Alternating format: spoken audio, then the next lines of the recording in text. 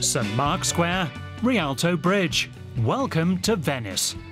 Colourful architecture and only a few people around. The Italian lagoon city looks fantastic on Instagram, but how is it in reality? Time to find out.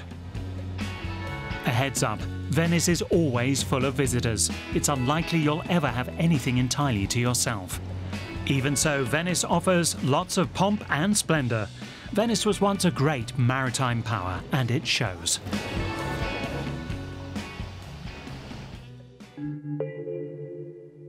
St Mark's Square is one of the most famous squares in the world, and a popular photo motif.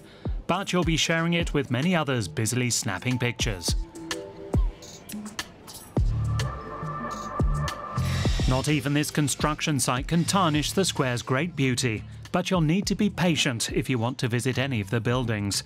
Long lines in front of the Doge's Palace and St Mark's Basilica are common.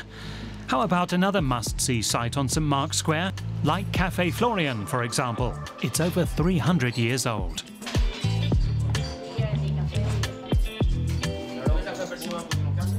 Expect lots of visitors here too, though with a little luck you might find a seat. Besides, the odds of running into a real Venetian are high, if not among the guests, then at least among the employees. Mauro Varagnolo was born in Venice and has worked at Cafe Florian for 20 years. How does it feel to work where others go on vacation?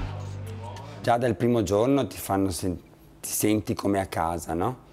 Quindi mm, lavori volentieri, però comunque è, sempre un posto di lusso, è una vetrina non solo di Venezia ma nel mondo e quindi chi passa di qua passa tutto il mondo, quindi tutti ti vedono e, e quindi è solo orgoglio essere qua. È... Penso che sia un posto unico in tutto il mondo. Our verdict? Cafe Florian is worth a visit, although it's not cheap. A cappuccino costs 15 euros. But it's right on St Mark's Square, which you shouldn't miss during a visit to Venice. Just expect big crowds. Let's visit the second Venice hotspot, the equally famous and much photographed Rialto Bridge. From afar, the bridge looks large and it doesn't seem crowded.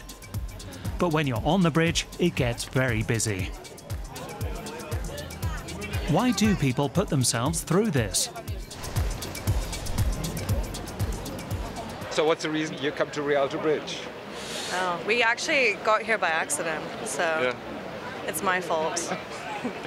I'm kidding. I'm kidding. You have to see it. It's like uh, an iconic, iconic place to be. Oh wow, it's stunning.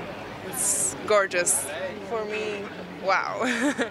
It's like living in a magical place. I wanted to try this experience. when you go get married, a lot of people come here for the honeymoon. Okay? okay. Because it's very romantic. It's a beautiful place. You see, you can see all the canals at a time, the sunset, sunrise. It's a beautiful place. We can't complain anything about this thing. So we like we love to stay here for a while and enjoy the sunset.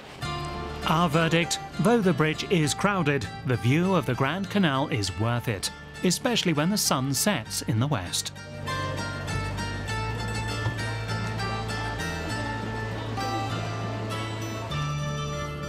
And speaking of water, our last hotspot is Burano Island, reachable by water bus across the lagoon. It takes 40 minutes to reach the small island. Burano became famous on Instagram mainly because of its colourful fishermen's cottages. Our first impression is that, yes, each of the small fishermen's houses has really been painted in a different colour.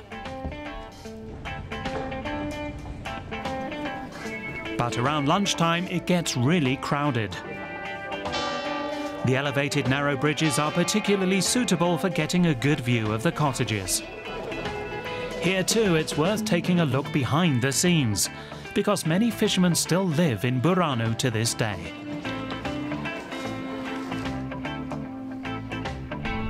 The San Marco Cooperative offers excursions where visitors can discover the lagoon together with fishermen like Andrea Rossi, watch them fishing or learn about the local nature. There are many small uninhabited islands, which are resting places for migratory birds. Io sono cresciuto e nato qui. E la laguna è il cuore proprio della mia anima, io senza la laguna non posso stare, perché dopo 40 anni che io faccio il lavoro di pescatore ho l'entusiasmo di andare in laguna come che avessi 10 anni. Per me la laguna ti dà un senso di libertà e è da scoprire e da tutelare soprattutto e voglio far scoprirla anche alla gente che viene da fuori la bellezza che abbiamo perché non vedere la solita Venezia o le isole così circondate, bisogna scoprire l'interno della laguna. Back to Burano, where we've still got to find out just why all these houses are so colourful. Adesso glielo dico, ci sono due aneddoti. Le case colorate e dai, dicevano perché c'era la nebbia, allora i pescatori di Burano, perché quando andavano a pescare stavano fuori due o tre giorni, quattro anche. Allora per distinguere le abitazioni, Burano, l'isola, hanno dipinto le case di colorate. Però un'altra tradizione dice, quella che ho sentito anche dai, dal mio nonno, dal mio papà, che non è così, che dicevano perché eh, di, hanno dipinto le case perché i pescatori erano tutti ubriachi, perché aveva, mancava il cibo, però il vino in barca non mancava mai, quello. quello è, e quindi questa è la seconda ipotesi. Quale sia quella giusta non sappiamo bene. Io da quando ero bambino mi hanno sempre detto così. O la nebbia o il vino. There we have it. Whichever explanation is true, the colourful cottages of Burano are definitely eye-catching. Our verdict, Burano is great. The Rialto Bridge and St Mark's Square are usually very full, but you'll want to visit them anyway. What do you think? Write your opinion in the comments.